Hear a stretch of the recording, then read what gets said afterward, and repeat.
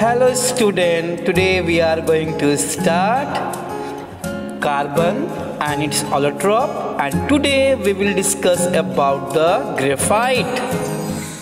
Now you can see the structure of graphite.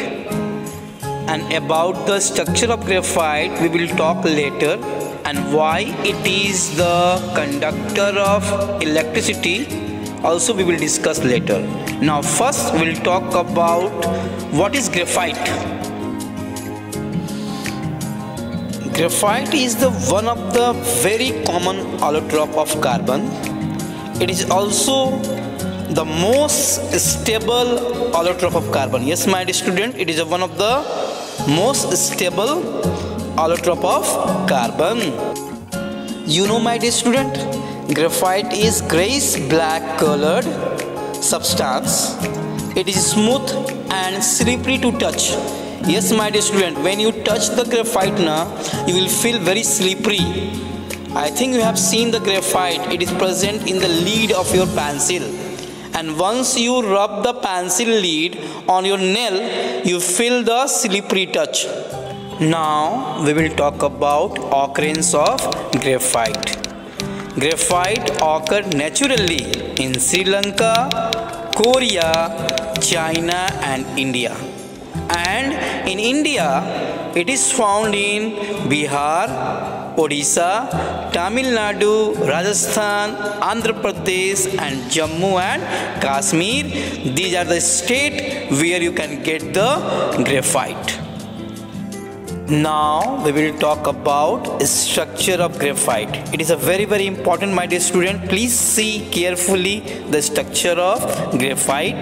Then you will understand that why it is the conductor of electricity, why it is slippery to touch. In graphite, it is hexagonal structure.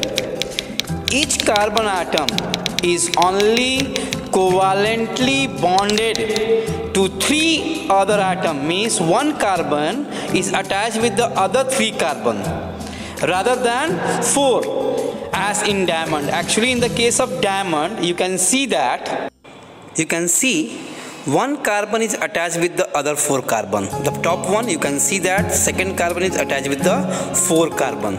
Means in the case of diamond one carbon is attached with the 4 carbon that's why it has tetrahedral structure. But in the case of graphite you can see that one carbon is attached with other three carbon and fourth bond is between two layers you can see the dot line between two layers. That is the fourth bond. And it is a very very weak bond between the third and fourth carbon. And this is called Waals force of attraction. So it is very weak and whenever there is some jerk it will be broken down and then the carbon will have extra free electron. And because of presence of free electron graphite can conduct electricity in your examination, it can be asked why graphite is a conductor of electricity because of presence of free electron.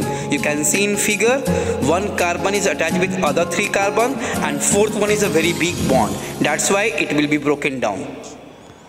Also you can see in figure there is a layer between two carbon layer means carbon are arranged in the form of layer. That's why they are slippery in touch. Whenever there is some jerk one layer slide over the other layer. And that's why you can write with the graphite on the paper. So my dear student it is very clear the structure of diamond and graphite now we will talk about the preparation of graphite.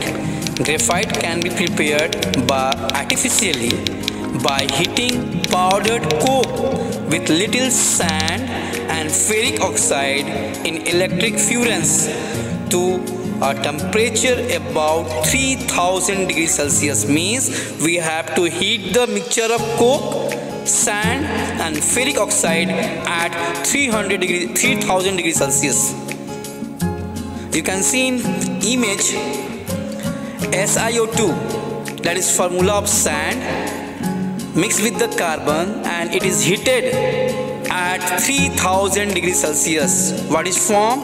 Carbon monoxide and silicon carbide. And then after getting silicon carbide,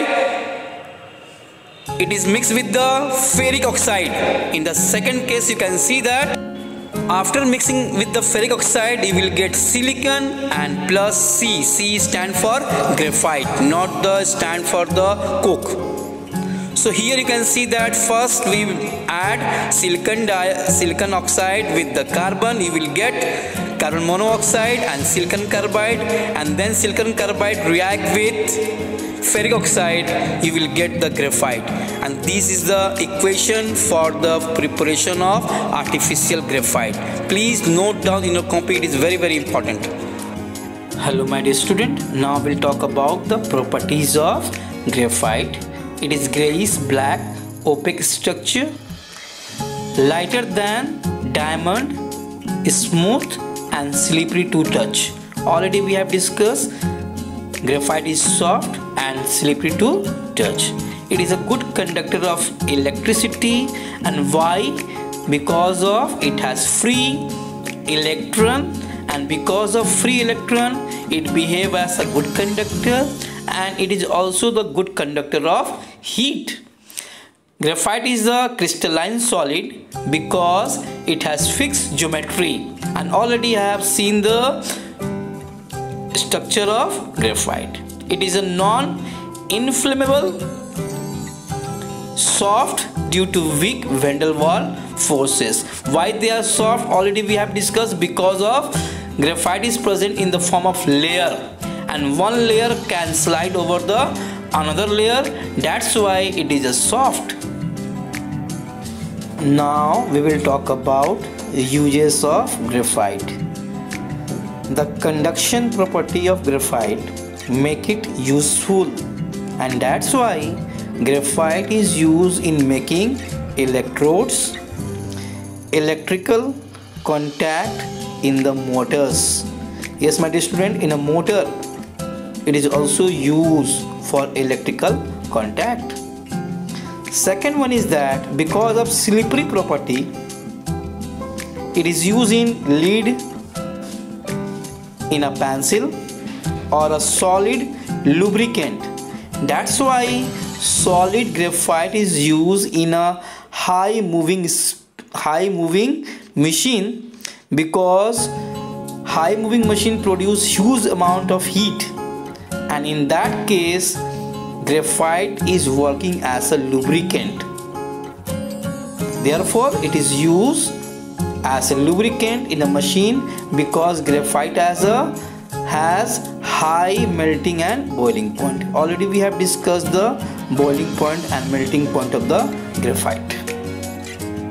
Now we will talk about the difference between graphite and diamond. Here differences are given. Diamond is transparent graphite is black and opaque. Diamond is a poor conductor of electricity but it is a good conductor of heat. Whereas graphite is a good conductor of heat as well as electricity. And why it is a conductor of electricity already we have discussed. Diamond is the hardest natural substances and graphite is soft and slippery to touch. Density of diamond is more whereas density of graphite is comparatively less. It is insoluble in all solvent and in the case of graphite it is insoluble in all organic solvent. Diamond is the ultimate abrasive and graphite is a very good lubricant. Yes my student already we have discussed why it is used as a lubricant. Diamond crystalline is occur in the form of octahedral crystal and whereas graphite is found in the form of hexagonal crystal. So these are the differences between diamond and graphite. Note down in your copy my student next classes we will talk about another allotrope of carbon like Buckminster fullerensis. Till then, thank you and have a nice day, my dear student.